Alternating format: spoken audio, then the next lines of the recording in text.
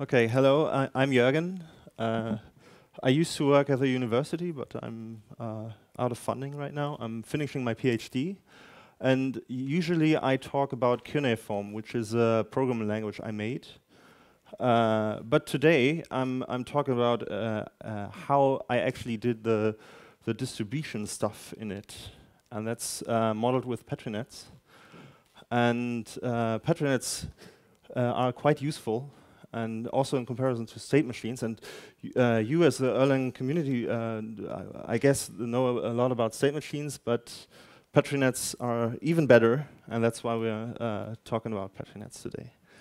So, um, what are Petrinets? Petrinets are a, a notation for systems from uh, some of the 60s. Uh, the good thing about it is they're graphical, so you can look at them and you can read them and you can draw them on a, on a blackboard. Uh, but they still have, uh, even though they have a graphical um, representation, uh, defined semantics. So it's not just uh, um, uh, connecting bubbles with arrows, uh, but that this also means something. And this, you don't have to understand this example here below, but that's how a Petrinet looks like. I will give a short introduction to what everything means in there. So first, um, there's a little story uh, about this. Uh, so in 2003, uh, Mr. Reinke here wrote a paper about Petrinets, uh, a, pe a, colored Petrinet implementation on Haskell, and he thought, well, uh, uh, the Erlang guys, know, they they do something with distribution. Petrinets are good for distribution. Let's let's write them an email and tell them, hey, there's this uh, thing I did with Haskell, and you, uh, you probably might be looking into that too. And this uh, is 15 years ago, and I'm here to like report or uh, propose that this is actually a very good idea, and we should have picked it up much earlier. And we could have picked it up uh, 15 years ago, but uh, let's see what we can still make of the situation. So yeah, nothing else happened. And now I'm, I'm giving you a short overview about uh, how we uh, model systems with Petrinets. So uh, a, a Petrinet is essentially graphical uh, notation, and one thing, so whenever there's a circle, circles are places. Places are uh, passive, that means they are something like a stream or a buffer or a piece of memory, something that can hold something. And uh, so places are always round. And the other thing that Petrinets have is uh, transitions. And transitions are active, so they are like operations or functions, uh, something like that. And these are connected as a, uh, as a directed graph. And um, and the places that are before a transition are called the transitions preset, and the transitions, uh, the places after the transition are called the, the places, uh, the transitions post set. And that's important uh, because a transition always consumes one of the things uh, from each of the places of its preset and produces one, uh, one of these things on the arcs uh, on all of the places of its post set. So that's essentially uh, everything there is to know about Petrinets. Yeah, and uh, on, on, a, and on a place, so on a, on a something that can store something, there's tokens, and these tokens um, are consumed and produced by these transitions. Later, they're called coins too. Yeah yeah, and this is essentially what happens then, yeah, when we, when we look at how this can go from here. So uh, there's three tokens in the preset of a transition, so the transition is enabled, it can, it can fire. And when it fires, it consumes uh, one of each of the things in its preset and produces one of each of these things in the, in the, in the post set. Yeah, that's essentially this, this is what a transition does.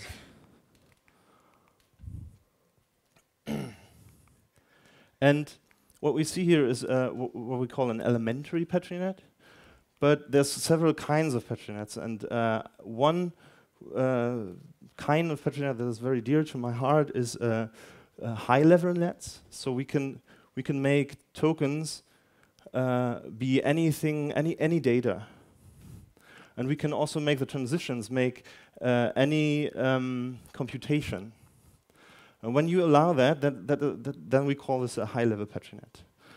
And the other thing that uh, is very important, also because we're uh, programming Erlang, is that we're looking at interface nets. That means that uh, some of the places of the net are actually at the boundary of the system, at the, at the interface.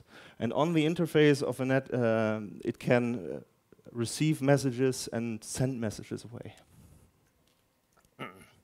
so that's how uh, everything plays together, right? Uh, that's how we make a Petrinet uh, in the end appear as an Erlang process. And uh, this is again the example from the first slide. So now that we know what all this means, uh, we can tell that if we put a coin yeah, in the coin slot, then uh, then the A transition is enabled, and, it, and if it fires, it uh, puts the coin in the cash box, and also a signal gets produced, and then the B transition is enabled and will put one of the cookie boxes in the compartments. And this uh, can happen three times. Then the storage is empty. And then it will just consume coins and never give you anything. so and also because the storage is not on the interface, there's no way you could ever uh, put new cookie boxes in there. Yes, this is a closed system. Only the coin slot and the compartment are actually at the interface. So, and this is also how I, uh, it's intended to be used. Yeah, if it's not on the on the interface. You shouldn't do anything uh, uh, with it except what you defined the Petrinet behavior to be inside. Okay. And uh, as I, as the uh, the title of the talk uh, suggests a little bit, uh, it has something to do with finite state machines, and also in Erlang we use finite state, state, machines a lot, and that's why I make a little comparison with finite state machines now. So this is essentially a rant yeah, on finite state machines. But uh, that's uh, I have to do this in order to sell this somehow. Uh, so let's say we're an automotive company and we're building cars. And cars in in this world are uh, very simple cars. They have a light which you can uh, turn on and off, and they have a gearbox and you can uh, shift into in, in rear no gear at all, uh, and, and there's two other gears. So if I if I want to model this as a as a state machine, I, I would come up with something like that. Is, is everybody okay with this with this representation? Or yeah. So uh, the the beginning state is here in the, the where the lights are off and we have no um, uh, gear and then we can either switch, shift up or down or turn the lights on or off. And the, the, the problem with this representation is that whenever we, we add a variable, yeah, here we have only two variables, light and gear.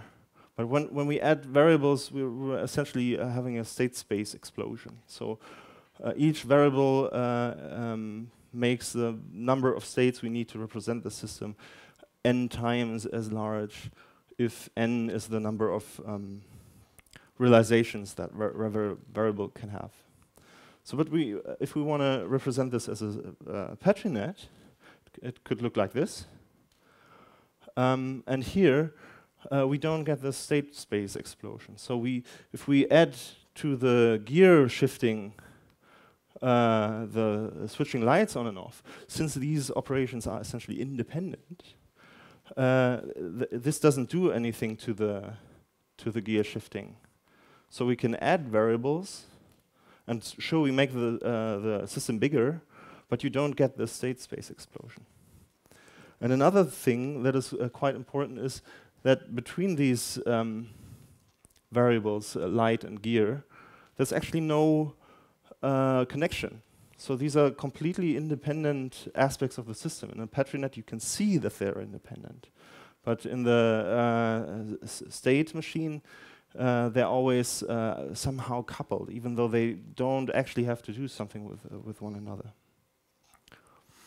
And another thing that can happen is, uh, well, there's for, for plenty of use cases, the state machine that we actually needed to have is, uh, is infinite. So very uh, simple example is a counter. Yeah, we start in the zero state, and we can add one, then we we come to another state. But but uh, to represent all the natural numbers, we you, we would have to have essentially an infinite uh, state machine. But that's not practical uh, if we have to code this at some point. And the the uh, the Petrinet for that would be quite finite. So some for uh, for the same use case, we have uh, if we encode it as a state machine, we need uh, an infinite representation, while uh, as a Petrinet, we only need two transitions and a place to have the same thing essentially. And so chances are, if, if you're using um, state machines, that you're al already doing a lot right. Yeah, this is not uh, uh, telling you you shouldn't use state machines. The opposite is the case. You should model and you should use state machines. But uh, but there are situations where state machines just can't help you, and and uh, there's also cases where also Petrinets can't help you. But sometimes, yeah, there's these cases where uh, uh, a, a, state machine is at its limits, but a, but a Petrinet is not. And that's actually more often than one might expect. so to summarize the, the downsides of finite state machines, essentially, you, you get a state, state spa space explosion when you add variables. Um, you can either completely separate state machines, then they're independent, or you have to uh, somehow put them together uh, but there's no in between. There's no, um, they, they can't be sometimes independent and sometimes dependent. That it has to always be one or the other. And the other, and the third thing is uh, that you can get uh, quite easily in the situation where your uh, state machines are infinite. So, enough about the theory. Now let's have a look at how uh, one writes this down in Erlang, because that's uh, what I hope, so, yeah, will come out of this. So this is uh, again the example. We have we have five places and two transitions, and coins go in and cookie boxes come out. So yeah, uh, and now let's look at how we would write this down in Erlang. So uh, first of all, we would create a module, and we will we would uh, tell it to uh, uh behave like a gen_pnet. Yeah? So that's essentially just the introduction. So and the first thing I have to give it is uh, a method, a function that returns the number, not the number, but but all the names of all the places in there. So first, I have to give Erlang a notion of the of the structure of the Petrinet. And the second thing is uh, I have to enumerate in the same way uh, all the transitions in there. This is just these two. And, and then uh, I need to tell Erlang uh, what the preset of all the transitions are. So uh, as we see in the example, uh, the preset of A is just the coin slot, and the preset of B is the storage and the signal. And this is also what we, uh, what we write down in Erlang. We don't have to give it anything about the post set, but the, uh, it has to know the preset. Um, the third thing that it needs to know is the is what the initial marking is of that Petrinet. And so all the tokens that are in the Petrinet from the start, and these are just these three cookie boxes. And all other places, no matter how they're called, are empty. And um, the next thing I need to know is uh, when a transition is enabled. And this is a predicate on uh, on the ways I can I can consume tokens uh, uh by, uh, on the way uh, a transition can consume tokens. So, for example, um, when a coin is in the coin slot, then, then the, the transition A is enabled. When we have a signal on the place signal and a cookie box in the storage, then the transition B is enabled. But in all other cases, uh, no transition is uh, ever enabled. So the, the is enabled predicate tells me when I can actually use a transition. And the last thing I need is what happens when the transition fires. So uh, when A fires, it produces a coin in the in the cash box and a signal in, in on uh, uh, on the signal place. And when B fires, it produces a cookie box in the compartment. And that is everything I need in order to tell Erlang what this Petrinet does. And uh, it turns out this is quite useful. Um, so uh, in order to find out whether, do you, ha you have a question?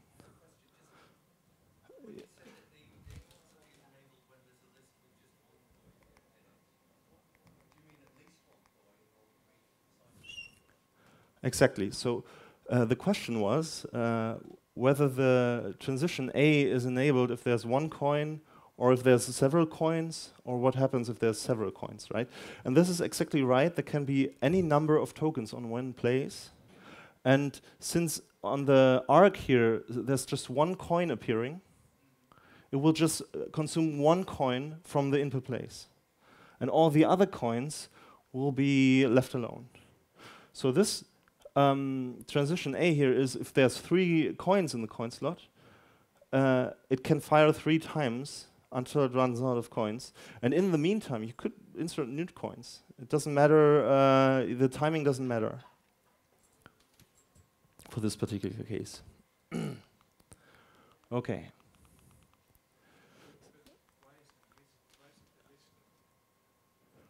Uh, what uh, the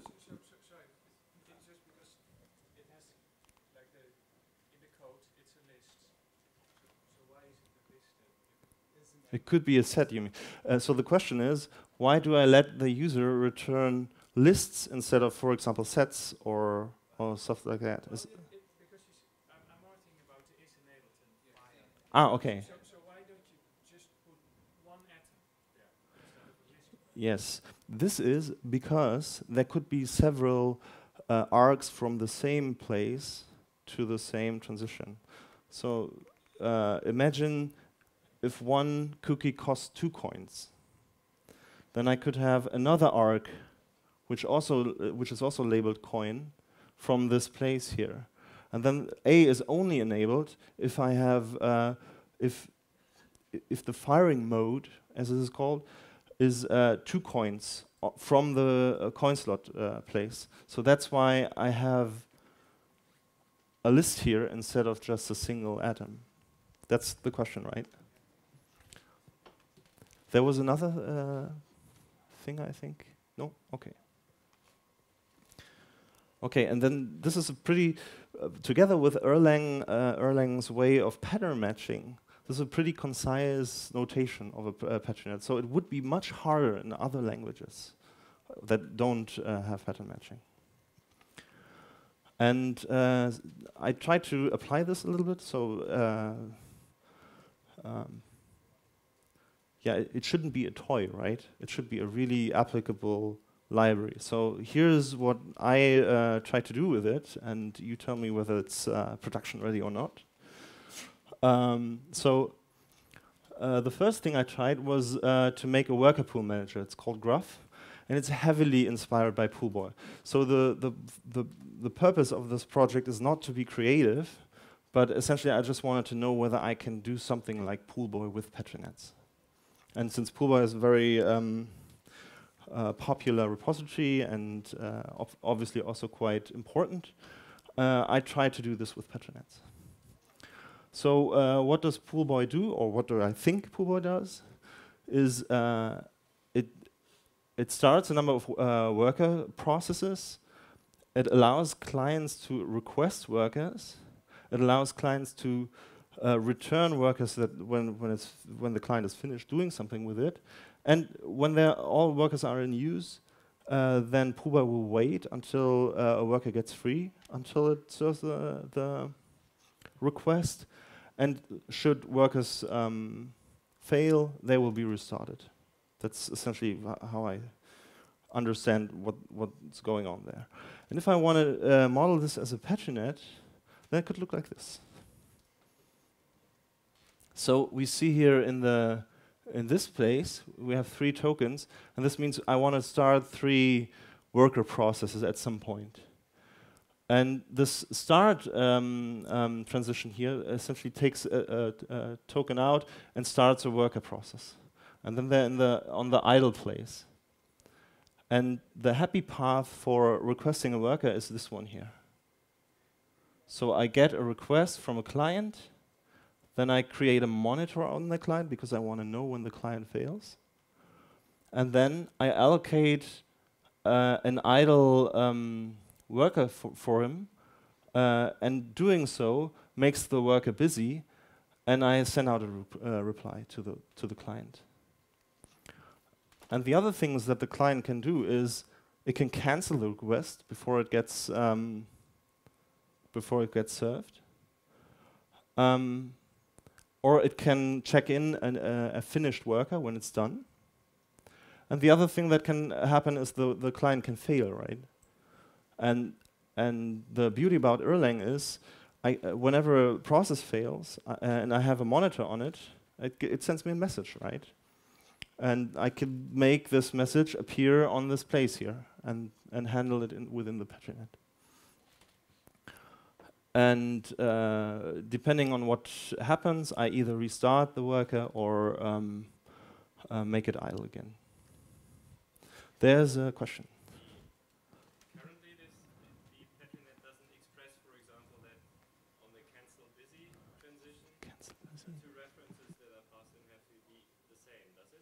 Yes, exactly. Here's an R.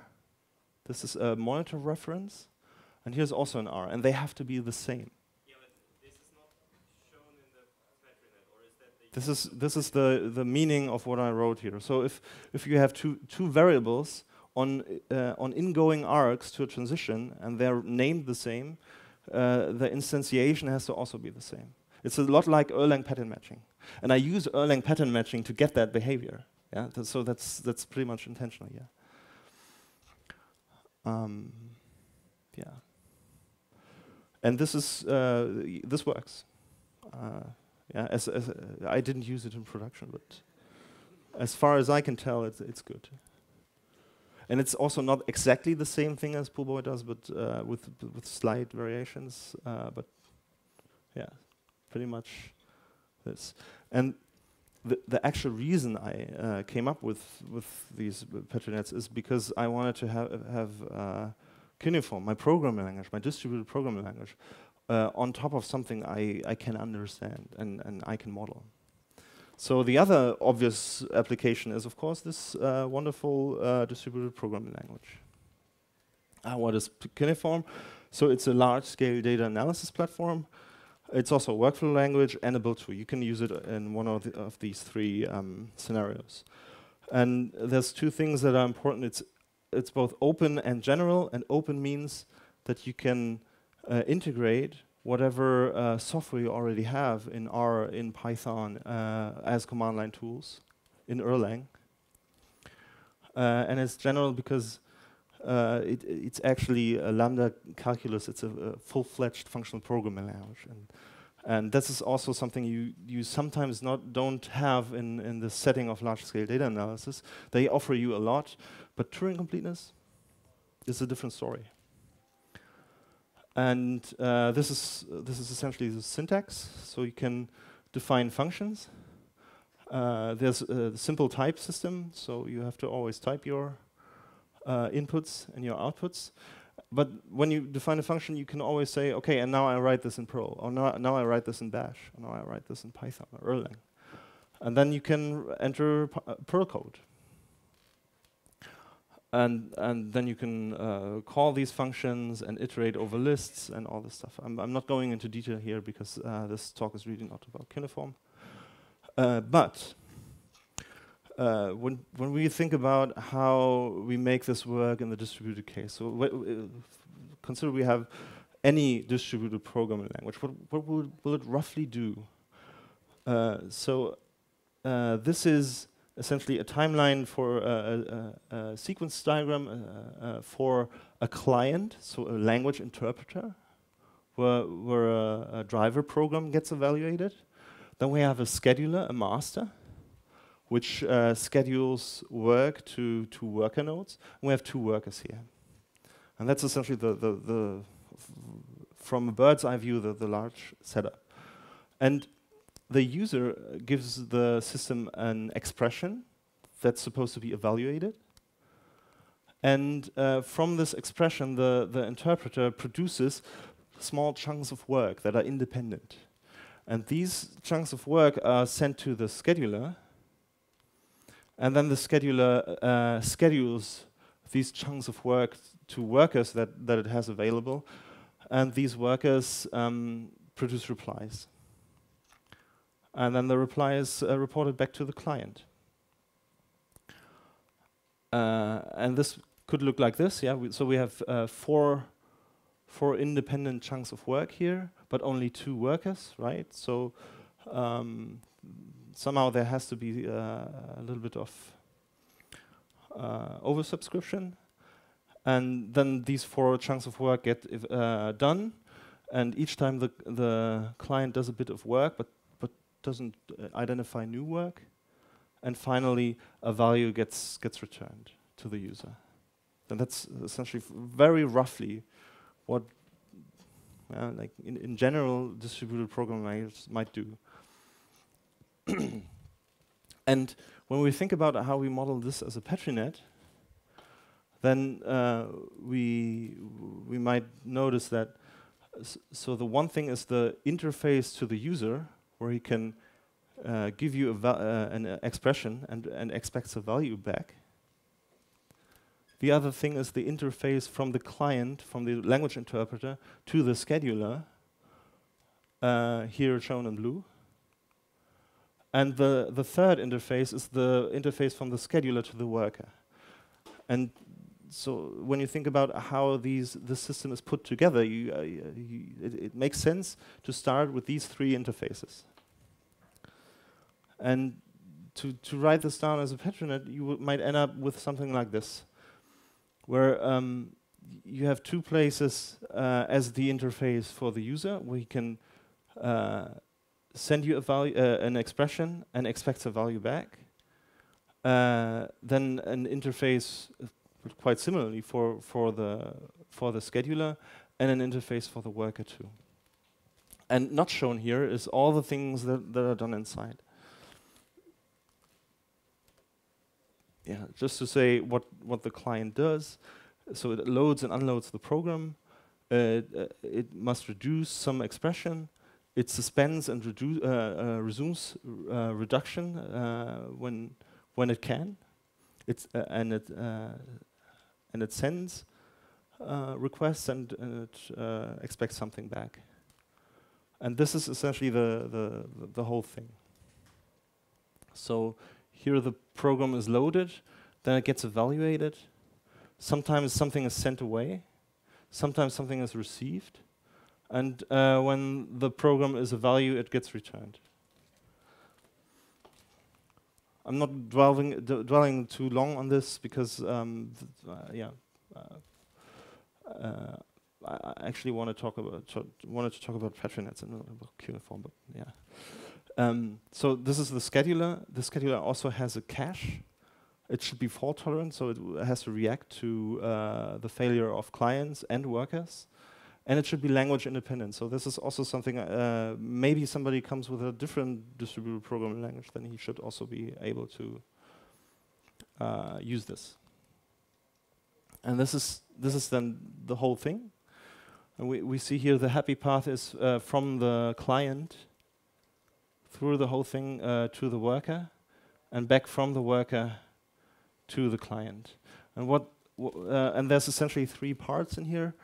The one is uh, the demand life cycle. So uh, this is how the system make, uh, uh, applies back pressure to the client. Then we have the cache here. So if a, uh, um, a request can be answered from the cache, it doesn't. Uh, it, does, it goes over this path instead of through the whole thing. And then we have uh, here uh, is where the scheduling happens. So here is where a, a, a worker, an available worker, um, gets gets paired within with a task, and this is sent away. And when the uh, reply uh, comes in, then the then the worker is free again. Um, and the the worker is also Petrinet too. This thing looks like this. So essentially, there's also a happy path over here. So this is what you what what should be uh, happening, but at all stages something can go wrong. So for example, uh, so first the uh, worker uh, prepares all the files that are necessary, then something gets evaluated, and then uh, there's some some work to be done afterwards. And the the worker can fail either uh, during preparation or dur or during execution or during cleaning up. So these th these three um, uh, possibilities exist, and yeah, and all this together is so, uh, is Cuneiform, and the the way we use it right now is uh, most of the time for um, biologic uh, uh, next generation sequencing, large da scale data analysis. Uh, applications. So this is, for example, a, a, a workflow that does that the calls variants that is uh, that detects differences from a sample uh, genome to a reference genome, and some visualizations that come out of this. And uh, so to wrap this up, uh, fir first of all, I, I just want to say this is uh, this, there's several people who tried something similar uh, um, most notably, there's uh, CPN tools, which is a graphical editor, but that, that supports code generation also to Erlang. So if you're not cool with uh, with what I've shown you, you can also uh, try this one out. And there's uh, an, uh, another guy who tried essentially the same thing um, a couple of years ago. I think seven years ago. Um, yeah but it didn't catch on, perhaps, I don't know. Um, yeah, so uh, ending this talk, uh, I think Petrinets are very uh, good model for, for modeling. So this is a mistake, I'm sorry. Um, uh, yeah, um, and, and gen_pnet, so this library I, I, I, presented here allows you to, to make um, Petrinets on the inside and processes on the outside. So you, you can communicate in Erlang uh, with, with, with the processes uh, the way you used to do that, but on the inside you can, you can have a, a different view on, on things. And that's about it. Uh, thank you for your attention.